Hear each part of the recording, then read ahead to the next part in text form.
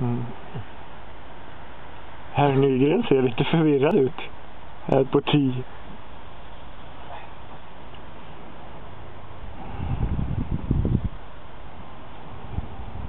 Så, ny boll.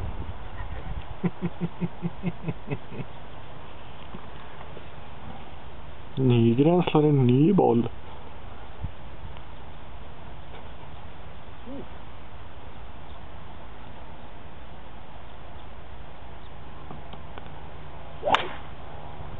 Ahí le da.